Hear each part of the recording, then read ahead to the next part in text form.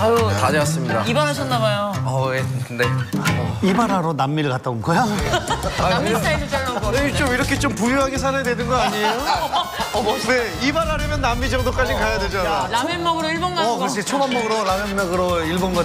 근데 남미에서 이제 저희가 멕시코 예능을 나갔단 말이에요. 멕시코 예능이요? 아, 근데 형, 형이랑 너무 잘 맞아요. 왜, 왜? 굉장히 섹시해요.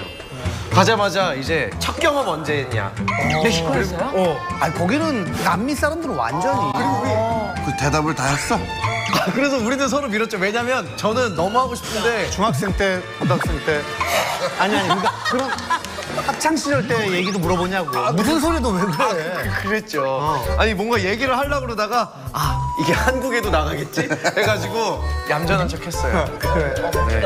근데 진짜 고생 많이 했다. 이 멕시코 그다음에 아르헨티나, 아르헨티나, 칠레, 페루. 칠레, 페루. 오, 야, 그럼 기내식 엄청 먹었겠다. 잉.